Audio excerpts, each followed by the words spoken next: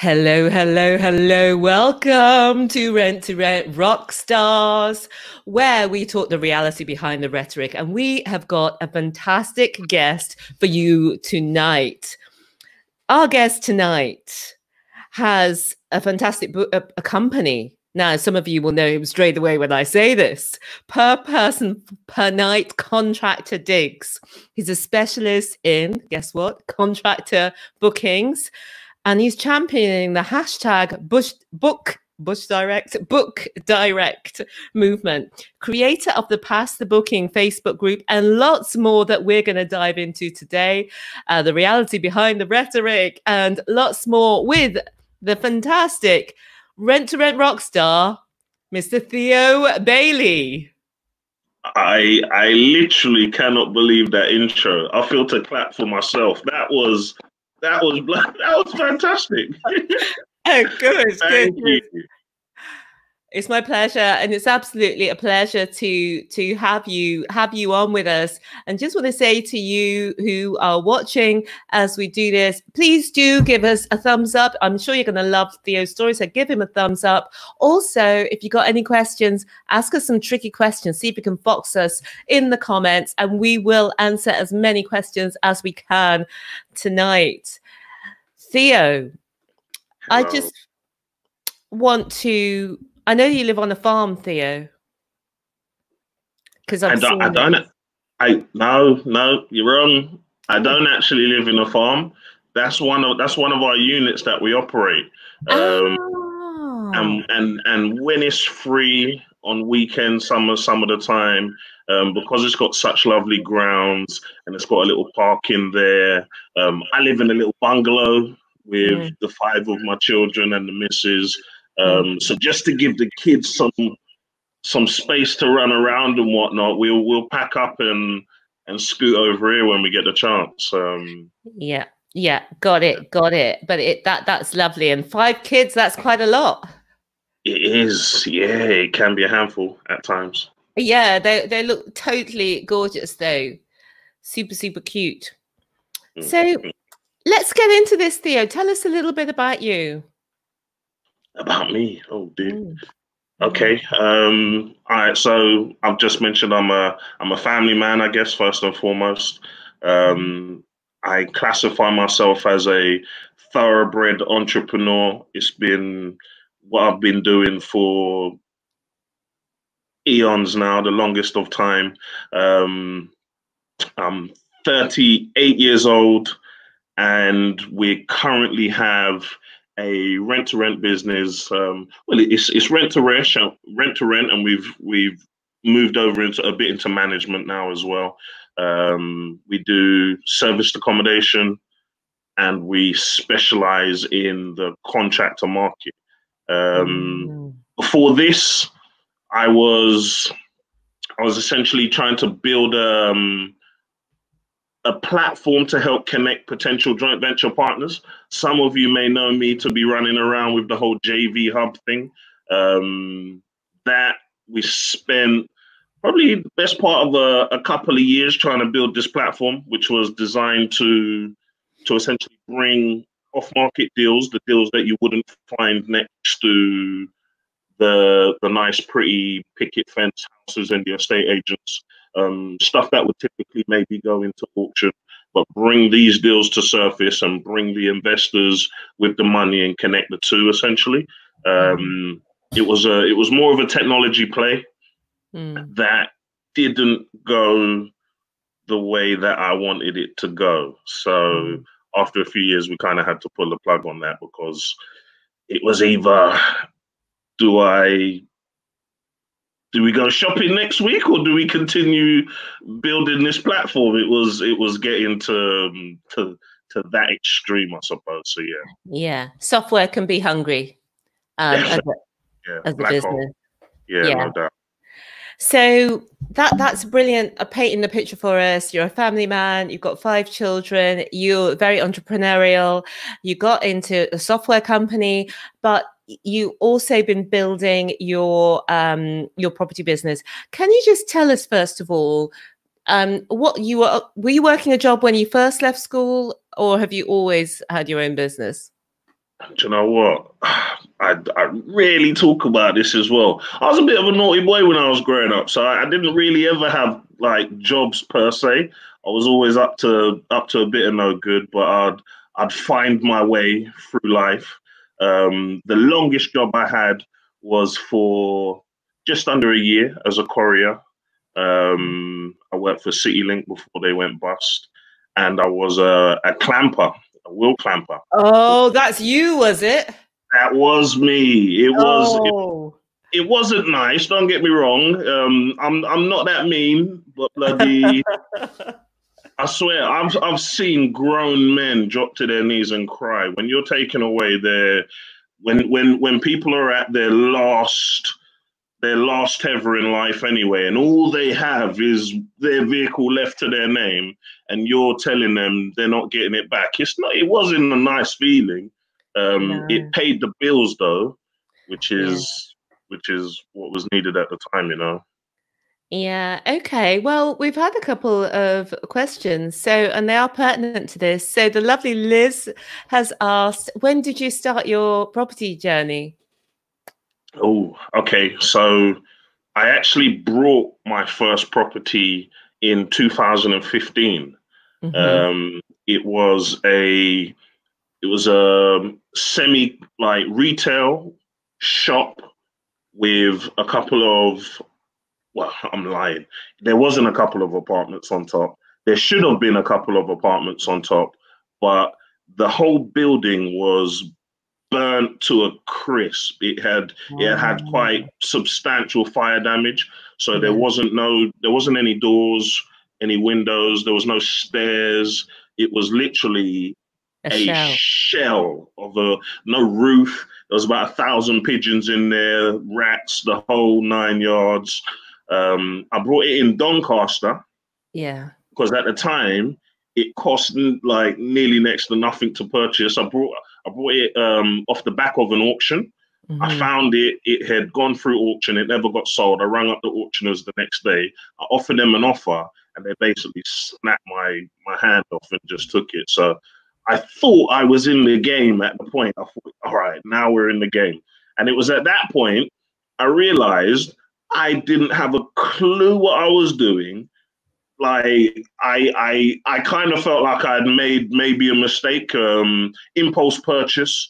Yeah. It wasn't the greatest amount of money, but because it was property and I wanted to get into property, I thought, all right, this is something I can do. Do you mind um, telling us how much? I'm just totally intrigued. How much does a burnt out shell in Doncaster cost in uh, it's Sorry? about 18 eighteen thousand pounds. Wow! Wow! Yeah. How long it, ago it, did you say? Five years ago. Yeah, yeah, yeah. Five years ago, for one eight thousand pounds, you bought this burned out shell. I'm dying to know what happened next. So at that point, I decided to um, start like trying to educate myself in in property. Um, so I went to a few networking events locally just to, um, to see what I could learn, what I couldn't learn, if there was any tricks on how I could essentially make this happen. Um, I've done about 10, maybe more commutes back and forth to the um, to the site. And I think after maybe the second or third commute, I I got so turned off with the whole idea. It properly it it flipped a switch in my head from one minute gung ho to the next minute pulling the reins back so solidly that I just I, I kind of didn't want no part of it. Um, like I, I, it, it it was the most like impulse purchase decision you could think of because I didn't have the finance to actually build out the flats. So it was only going through um, networking events that I, I come across this whole joint venture kind of thing. And I thought, well, there might be an opportunity for another investor to get involved. But when you got zero experience, zero knowledge, like I didn't even know if it was a good deal or not. I couldn't have told you if the deal stacked or not. You're not really that appealing to to investors. You kind of look Yeah. like a fool, if anything. Um, Yeah. So I I like I realized I wasn't really going anywhere with this, and I kind of made a mistake. Um, so I winded up selling it actually to to a friend of mine who it, he wasn't massively into property, but he brought his own home. He had developed something else that was local to us in style. Um, but he's got family more up north. It was I don't think it was Doncaster, but it wasn't. It was like the, the next town near Doncaster. When I told him the problems I was going through, that kind of perked his eyes open and we took a trip down there, and he said, "Look, he'd happily take it off my hands." So him and his sister. Do you know what? I haven't even seen it. Um, I know it's been developed out or whatnot, but this was this was years ago now. I haven't even finished um, seen the finish the finished product, but I luckily sold it to him. Um, for how much? Sorry. Mind me asking? You know, I'm just nosy twenty three thousand pounds. Oh, see you you made a bit of cash. I, I, I, made some money. yeah, yeah. It was pennies in the end, but it it it it did, I didn't lose on it, so I was just happy to get the money back in the bank. If you know what I mean. Um, yeah. Yeah, no, yeah. that that that that sounds great. So you you started off now Liz has asked another great question, which is that's a really bold start to your journey. Where did you get your boldness to start with such a project as your first? Did you have a training? Did you do some training or have a mentor? Thank you, Liz, for the question. That's a really nice question. Um, no, no training, no mentor, no nothing. But you can, I don't know. I guess there's a thin line between boldness and stupidity, maybe. I don't know um, because I felt really silly after I had brought it. Um, mm. Just being so novice, and the amount of people when I was doing my networking that I would show show them my project on the phone, and where we we've got experienced developers say, "Oh, okay, uh, that's a bit of a you've, you you you've bitten off something a bit a bit more than like they they probably wouldn't even feel too comfortable going into it, especially with the, the distance to travel and all sorts. Yeah, um, yeah. So so boldness, yeah, I guess it was. Um, I felt like at the time I was going through a point in my life where I wanted drastic change, mm. like serious drastic change, and I didn't know what else I could do but dive in two footed to force that change upon me. I knew I wanted to get into property, and I thought, unless I, I didn't know. Again, you see, right now we're doing a rent to rent business, and we're doing well in our rent to rent business. At that point, because I had no mentor, because I had no training, because I had no experience, I didn't even know that was possible. I'm living mm. in Slough. Everything costs big money around here, as far as I was concerned. So it was a case of what can my few pennies actually afford me? So I wasn't even looking locally. Everything was, I went further than that. I was up in Newcastle. I was touching nearly Scotland. I was, I was looking at any Middlesbrough, anywhere where the pennies that I had could take me a bit further in my view. Okay, I'm going to interject Theo because you made this bold move. You bought this burnt out shell in Doncaster. You ended up selling and, and making a, making some money on it. But how did you get from there to where you are today? What happened next? Okay, um, so I guess that was the whole JV hub space where I, I essentially put every penny of the money I had into this technology and it all went down the pan. Um, okay, and then after that, you did, yeah, so, that when you found rent to rent or yeah, more or less, more or less. Um, so I was working and like I needed to get a job. I was working in an estate agency in Windsor at the time, mm. and my mm. partner was doing essentially it was meant to be cleaning. Kelly, we're talking about here. Um, my my life partner. Uh, so it was meant to be cleaning, but what she was doing was essentially every check-in, every check-out, the linen, the management, you name it. She was doing. She was basically running this guy's like service accommodation operation. Um, so she she was running a handful of of his units for him, and she was doing some some cleaning for like maybe about six or seven other HMOs. At the time, because I was doing my estate agency work, and she was really starting to get to understand the the mechanics of the service accommodation space. We put our heads together and said, "Look, well, I'm going to go out and source these properties because I've got access to inventory and landlords and all of that. I just felt it would be a lot easier for me to get hold of the inventory, and she can learn how to." Well, she already knows what she's doing, but between us, we can learn how to actually fill the properties because that was the only thing that she wasn't doing was it was filling the properties. Um, mm. So that was it. I set myself a, a, deadline in December. We knuckled down. We had that talk, and we said, "Look, by end of January, we are going to have our first unit online and operating." And February, I think the eighth, we we went live on our first unit. Wow. So we just just missed the deadline. Um, wow, I but, I love that. Well, service accommodation, people know I'm not always the biggest fan because I just think it's a lot of operations. But that brings us into a question that we've been asked here, which I'll touch on now and then we can go into it a little bit further. So, Alpha has asked, speaking of software, do you use software to manage your rent to rent business?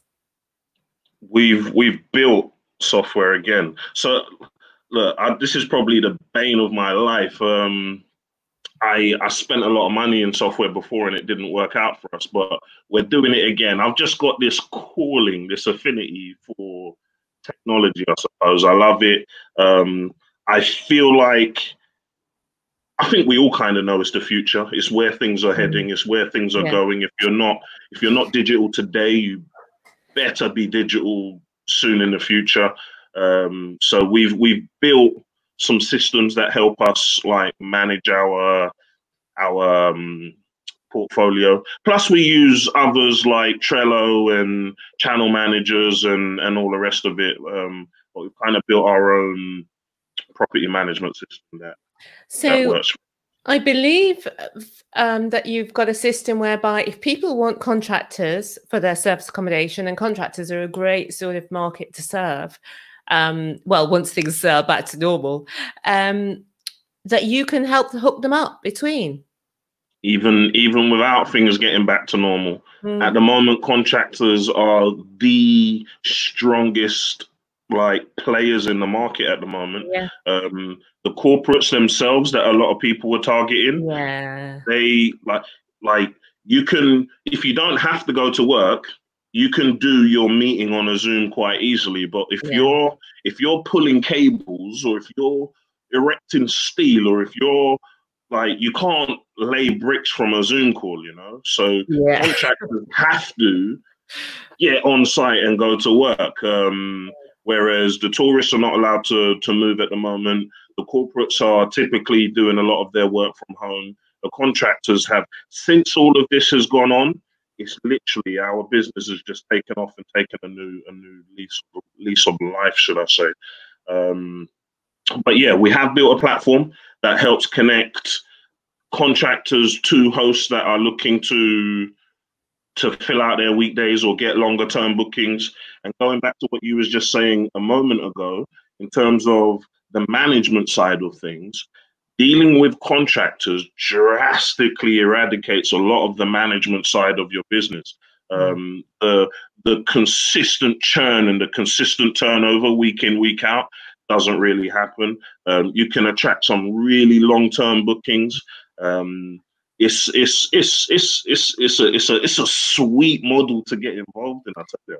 Yeah, absolutely. Um, we we've had some limited experience with contractors. They do make great tenants. They tend to take a longer term booking, which is how we got into it because our bookings are mainly long term, but often they're six months and beyond. And and the guys are great, and they'll even fix things. so. Yeah, bang on the money. We've had we've had quite a few of those. Um, we had a leak underneath one of our uh, properties in the kitchen. These guys essentially just they were plumbers anyway, but we didn't even ask them to. They told us that it was fixed and sent us all the pictures and everything. Use yeah. their own tools, use their own materials. It was yeah. just it was fantastic. Yeah. Yeah, great guys. And just want to call out Rupert Wallace, who runs the HMO Hub and has the HMO Hub sorry, the HMO Property Podcast, which I love and have been on. Hi, Rupert. Thanks for watching. And um, Jason's just saying hi as well.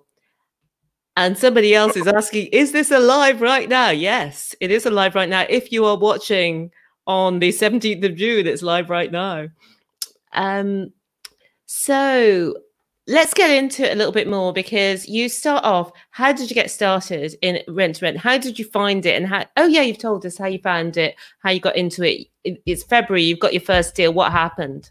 Yeah i didn't actually get the deal through um the agency that i was working with though. Oh right. it, yeah no no. So come december we amicably parted ways. I knew that the job wasn't really for me. Um it it it was driving me bonkers to be fair. Um, and i knew where we wanted to go as a family and as a company. And i didn't want to just be there but not be there. Having mm-hmm. ulterior motives and trying to benefit out myself by utilizing the company but not really getting the job done that i was supposed to be doing. So we kind of just amicably split and I forced myself to pick myself up and go into a load of estate agents in Slough because we're from Slough, born and bred in Slough. I know Slough well.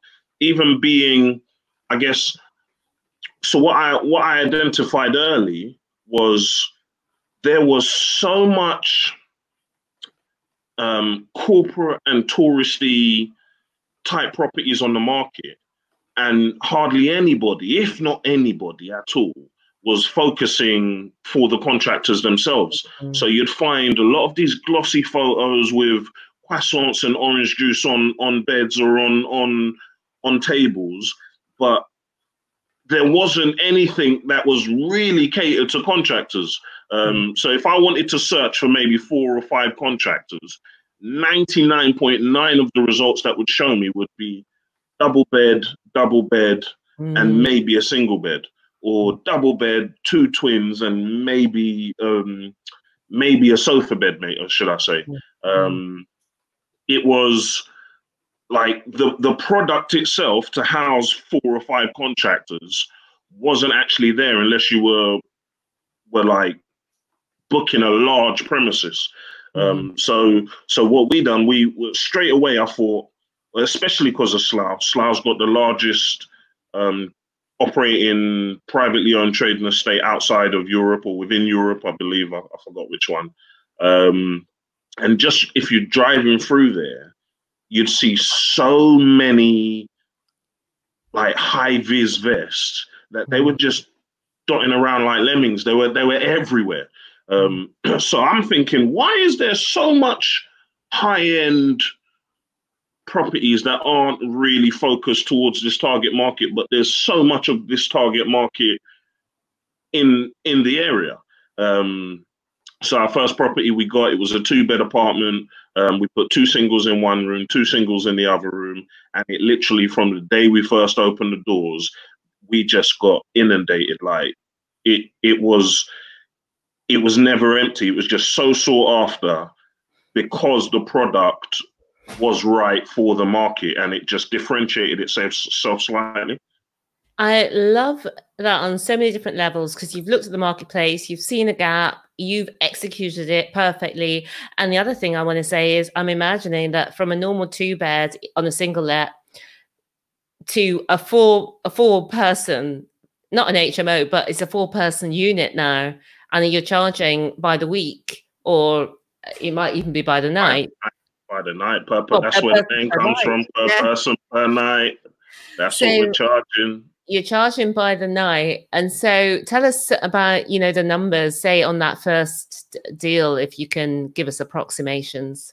Okay, so it was going back some some time now, but and I'll be honest with you, that that unit probably wasn't the most profitable unit, or it wasn't anyway. Um, but we were paying twelve hundred pound for the unit would typically average around the 40 pound per person per, per night mark but um, a fair chunk of the bookings was the monday to friday so we'd only average the 16 days in the month um, mm. so i'd say we was we was probably taking away anything between 500 and 700 pounds a month off of that unit on mm. on on a lot of the months other mm. months it would it would like rise quite drastically to where we'd get a seven day weeker and they'd be paying that same money, but we'd get an extra maybe five, six hundred. So we could break like two grand mark on a on a month on certain months if we was getting the full seven day weeks.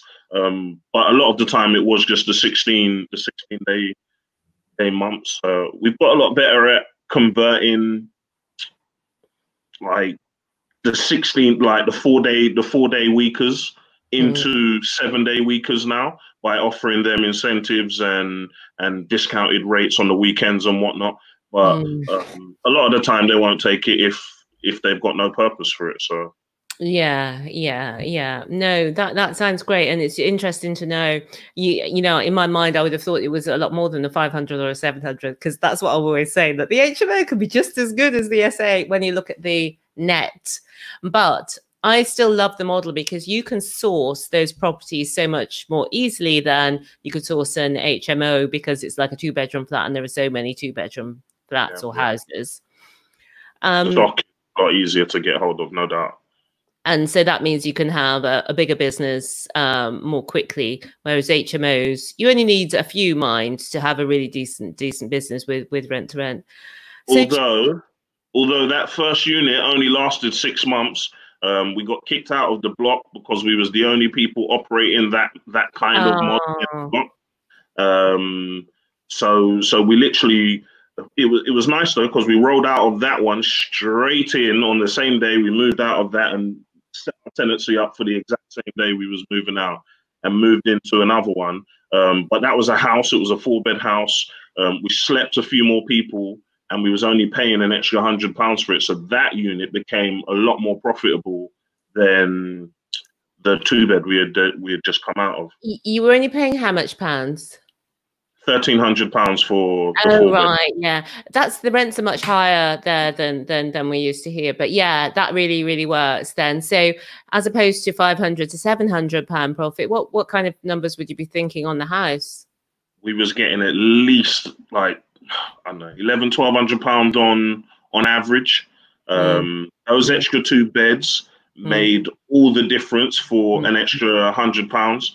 Mm. Um, like a lot of the time, two two nights would clear that hundred pounds fairly easily, uh, and then you just had the rest of the month to to capitalize on. So it was it was a much profitable model. And since then, we haven't looked back. We've stuck with the larger kind of properties. That that sounds great when you can split up the rooms and have two and even three to a room. So Charles has asked, um, I don't know if you can answer this easily. What's the average price of a property in Slough? I've been thinking of that area. Don't come to this area. Find another area. Go to Bristol or something. I hear Bristol's nice. Yeah. no, no. Um, it depends on what property you're looking for, I suppose. You can you can find, I don't know, um, a decent two bed apartment you could probably get for a thousand pounds now. I think we probably overpaid on on our apartment just because number one, it was our first. Um, I was banging on a lot of estate agents' doors to try and get somebody to take me seriously. We didn't have any track record. We didn't have any experience. Um, so when one came up, we we we I snatched the chance on it, if you know what I mean. Um, well, sometimes you've got to get started. Now, yeah, exactly. um, Theo, um, that's a really good point that you're making there. This is something that people worry about. How are people going to take me seriously? How can I get my first deal when I've got no history or experience or track record or accounts with the business? So tell us about how you did it was it the charm? Did you go in and just say, I'm ready when you are? well, I thought it would. I was panicking, like I was. I was not. I wouldn't. Well, not panicking, but I was um, very apprehensive. And although I'd give myself this deadline from the end of December to the end of January, essentially one month to get this property, I didn't actually start really sourcing for until the later two weeks of it. I procrastinated for like the first half of the month just not wanting to make calls and not wanting to go into agents, even though I just come from working in an estate agent. But it's it's that whole imposter syndrome kind of thing where I thought they would have called me out for not knowing what I don't know. Um, but what I found is, uh, I thought I would have got more luck after this as well because the first four agents that I went into, I got greeted by a first name basis. It was like, Theo, is that you? What are you doing in here? I'm like, oh, how's it go? Like, these are guys I've either went to school with or friends of friends, or we've just known each other just being local. And I had quite a few people just like greet me very um, friendly, if you, if, yeah, very, very warmly. Um, but funnily enough, I didn't actually source the first property from any of those. And it was an agent that I didn't know and didn't have any connections to. And I was just blatantly honest and as raw as I could be and told him that I'd banged on every estate agent's door. Nobody's given me a chance. I like I need somebody to throw me a bone. I need somebody to give me a little olive branch. Are you gonna be that person? Because how am I supposed to get on the on the on the ladder if everybody's asking me for 12 months accounts?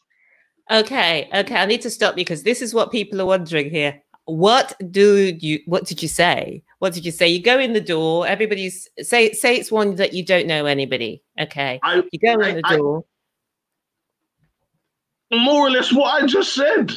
I literally, as raw as that was, I said, listen, I need somebody to throw me an olive branch. I need somebody to give me, like, throw me a bone. How can I get on the ladder if everybody's telling me I need 12 months? Where am I supposed to get my 12 months account for if I if like somebody's got there's got to be a bit of give here. How does somebody do it? And, and, and you mean somebody just says, "Okay, Theo, here's a bone." I, th- I think he just felt so, not sorry for me, but he just got me. He was like, he he he, he gave me the the chance. He said, you know what? I appreciate you saying this. I think I've got a landlord that might work with you. Um, there's a property here. He showed me the property. He goes, the landlord's a lovely fella. Let me like make a quick phone calls and see if I could run it by him. He ran it by him, and lo and behold, yeah, the property was ours. Um, yeah, typical I one one month in advance. Yeah. I love that story. I think it's just a mix of realness and vulnerability. People really connect to people, and it's about building that relationship. And I just knew that you have got that X factor of getting on easily with people. So much so you've got a fan on here, and it's Toyin D- Davidson Arrow, who we all know from Property Pillar. So hi, to- uh, Toyin. Thanks for watching. How you doing, Toyin? Thank you for being here. And um, it, hi to Jeffrey, who's also uh, watching. And we've got a yes, you have to be raw. We can't see your name. You need to click the link that says about StreamYard. Otherwise, we can't see your name. But yes, you have to be raw. And Liz is saying, yeah, I love that. Sometimes you just have to be real and reach out in your vulnerability and I I totally agree. And uh, someone else whose name we can't see on the comments is saying great story. So that's why I wanted to have you on because you've got such a different perspective. So you got that deal. You've got you've got the deal, and you you explained us what happened. Um, but tell us how your business then grew from having that one property initially getting pushed out, having a next property, uh, but you just got the one at this time, I believe. And then tell us how it blew up. So essentially, we we found a landlord that was really like open to working with us. Um, I was helping a lady called manny Chopra in our um, it was the she still runs it to today, but it's all it's obviously online now. But it's the J6 property meet in Slough. So mm-hmm. I was mm-hmm. helping her essentially in the back end, setting up and like you know, the whole organizational aspect of it. We'd have a couple of meets a month just to to figure out roles, responsibilities, and whatnot. Um, it was in that meeting that when you get your your little 30 seconds to stand up and say what you do and whatnot, um, when we do get back into these type of meetings, I would encourage anybody, whether you're new or not, to stand up and just say your speak your truth, you know. Um, so we stood we stood up, or I stood up. I said, "Look, we're we're operators. We've got one unit now, and we're looking to expand locally. I'd love to connect with landlords in the in the area that potentially open to serviced accommodation." Um, something along those lines. I can't remember the exact words that I said. And somebody made a beeline for me after after the little on the break and said, "Look, I've got a few properties in Slough. Um, let me show you one of them. Let's see how we go with that." Um, which was the one that I essentially rolled straight into off the back of giving up the the two bed flat. Um, working with that chap for I don't know, maybe five, six months before he offered us another four properties.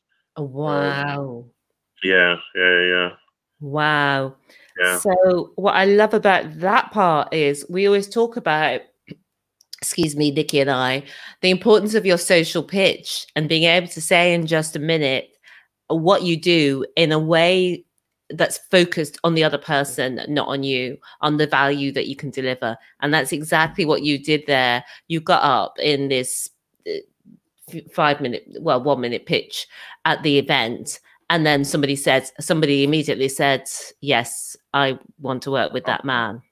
I've got what you're looking for. Maybe we can do something. Yeah. Yeah. So um, that that's very powerful as well. So it's no wonder you were successful. So then and again, it shows the story that you can just meet one person and actually that's the door to the next five properties or more. This guy is he's stuck with us all the way. He's offered us multiple, multiple properties. Um, he even offered us one that we took and wound up having to give back in six months. And that was sheerly down to my own again. Um, you could call it gung ho-ness, uh, ambition, vision, drive, whatever you want to call it stupidity. Um, I didn't do, well, I say I didn't, I did, but I, I massaged the figures to suit me because I was, I was like in awe of the building that he was offering us. Mm. So he's already, he's, he's given us a small site of two four bedroom houses with a studio apartment attached. Um, that was going swimmingly. Um, and then on top of he's loved what we've done there because we actually went in and done like a quite a quite a decent refurb on the property and turned it into our stamp that we've got today and tried to really brand it and come with something special. Um, he got blown away with what we done there and offered us like a, a 14 bedroom all en suite bed and breakfast sitting on the like more or less the Thames River in Maidenhead. Wow. And it it it kind of just pinged off all of my buttons with excitement. So, like, yeah, we essentially dived in there, spent a load of money in there sorting that place out, um, and realized that our our model didn't suit that property. Um, the rates that I had agreed to was way more than what the rates we could cover, and mm. we winded up losing quite a chunk of money going in and out of that one. Um, that one taught me a serious, serious lesson. You thought I would have learned off the first one, but I guess where we earned a bit of money on that one, it, it yeah. didn't burn so bad. Mm. Yeah, so that's the the biggest mistake that, that you know anyone can make, which is the numbers, the numbers. Um, but yeah, no, but so you you pulled in and pulled out there. Now you've built up quite a big portfolio. Tell us tell us what your business looks like uh, today. It's not it's not even that big to be fair. Um, we've we've slowed down uh, on on growth essentially because we we're trying to um, we're in negotiations now to be purchasing the farm that that I guess you saw. Oh, that's fantastic. Yeah, yeah. So the idea that farm itself is um it's got a grade two listed house on it, five five bedroom grade two listed house. It's got a couple of other flats, but it's got some barns and some stables that we're looking to convert into more accommodation essentially and run it as like a complex. It's mm. literally dotted on the corner of Slough Trading Estate. Um, so so we're putting a lot of our focus and energies on on getting that across the line and, and making that work for us rather than scaling up on the rent to rent or uh, management. So we're managing two properties. We've we've only got the five rent to rents at the moment. Um, hmm. seven units, seventy beds over the the seven units. Um, we're we're totally maxed out and full at the moment, and have been for the past little while. If I'm honest, um, this COVID thing is just even though we were full before that, but we're so like oversubscribed now. It's getting a bit silly. Um, but yeah.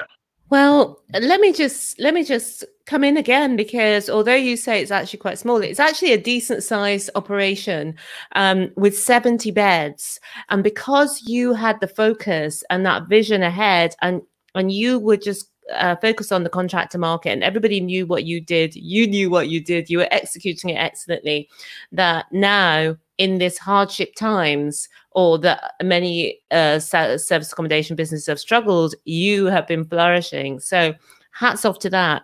And then on top of that, what I love is the vision and foresight as well. Rather than grow to like hundreds of rooms uh, and maybe not as much profit, you've decided to focus on what's already winning and a location that you know can can win and also you're buying that property. So tell us a little bit is that a normal purchase or sometimes on the rent to rent when you're renting renting like we have had some lease options exchange with delayed completion. So tell us a little bit about purchasing the farm. That's a, that's exactly the process we're going through at the moment. Um, and it's essentially a lease option. Um, mm-hmm. it will be a delayed completion. We're hoping up to at least two years mm. um, just so we can get a lot. There's a there's a lot to there's a lot to pack into this site. Mm. Um, that the, the vendors been a bit of um, a nuisance to the council as well. So there's there's quite a bit of red tape that we've got to jump through in regards to the council and stipulating what they want to see as well, mm. um, which has held back negotiations. To be fair, because mm. uh, they've got certain stipulations to do with the land out the back that they need to see cleared out and and whatnot. But we, we shall get there. But it's it's definitely it's not it's not it's not the simplest of deals to to get across the line. I can that. Well, a lot of these deals are, are, not simple, but it's just having that knowledge that you were in there in the game with your rent to rent. And through the rent to rent, you got the opportunity then to do this lease option stroke. Well, it's an exchange with delayed completion, but you will own that asset, a fantastic property from the, the photos I've seen on Facebook. It looks incredible. And then there's so many opportunities to develop that site to have other self, you know, service accommodation units to make it even more profitable.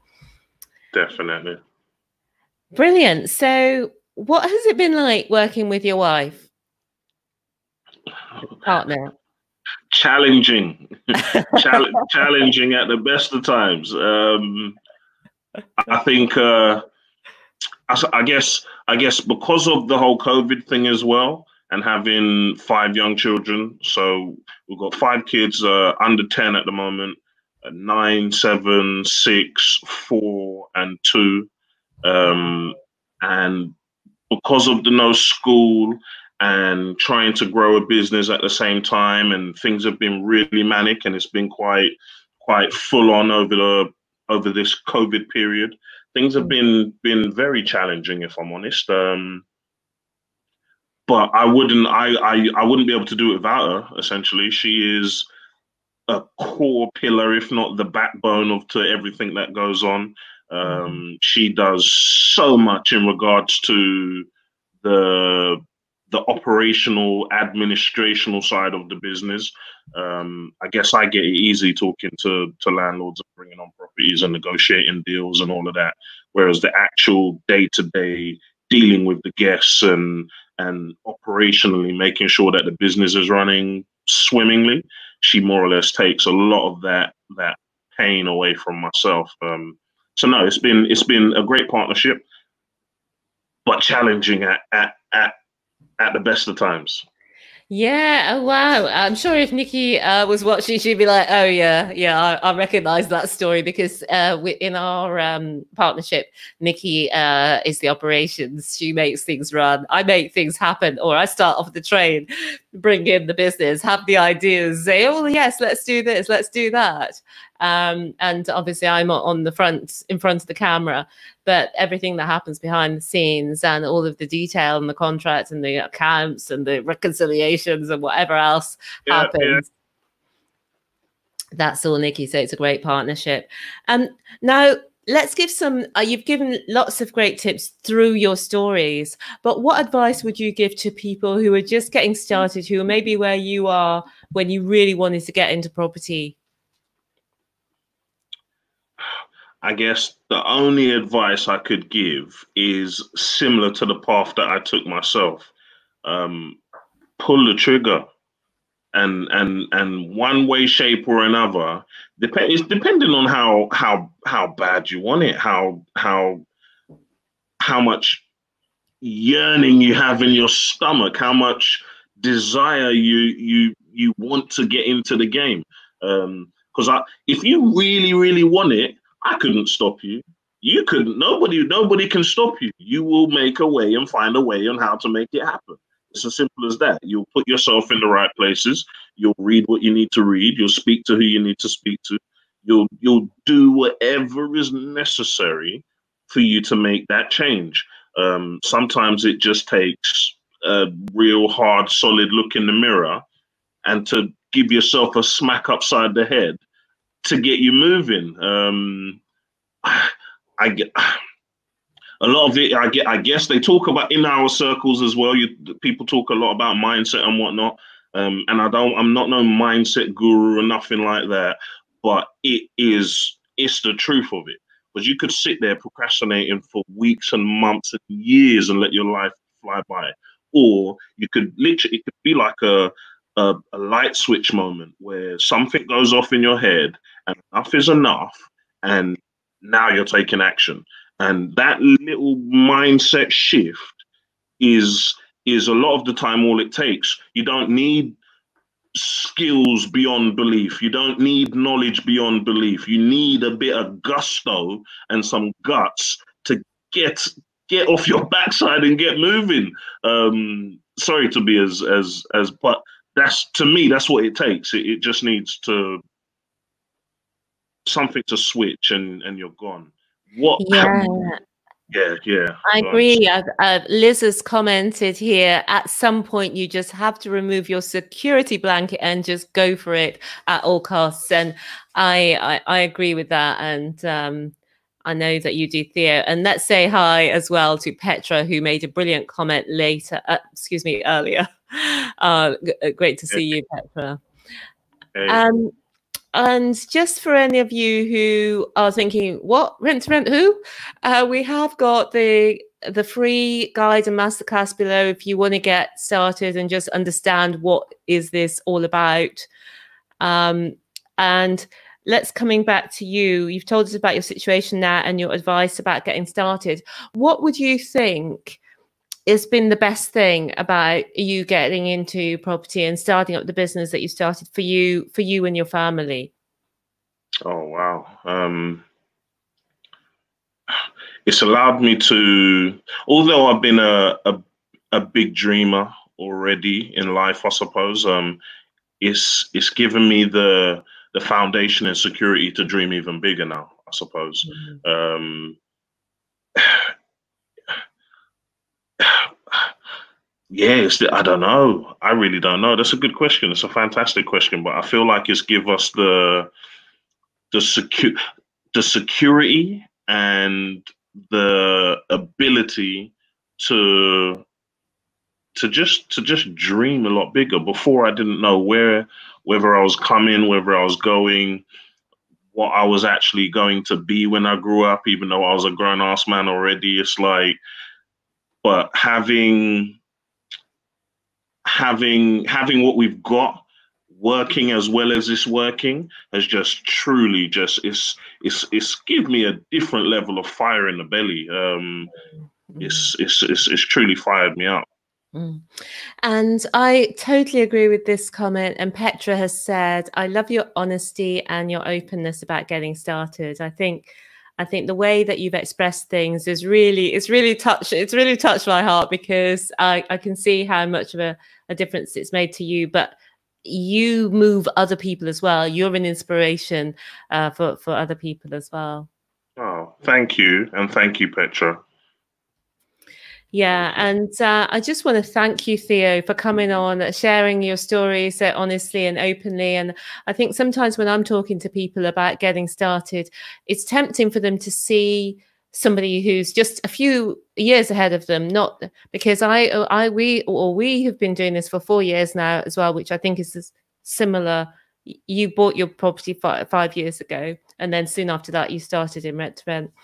And what I try to in, explain to people is your life can change beyond all recognition within five years. You can go from someone who's on a nine to five, doesn't really know about property, to someone who has got a property portfolio or someone who's managing in your case you know over 70 rooms isn't it someone who's buying a property on a creative strategy without a mortgage whereas previously you may not even have known that that existed so um so if you are watching and you do think to yourself or listening um and you do think to yourself do you know what? I want want to get started get started.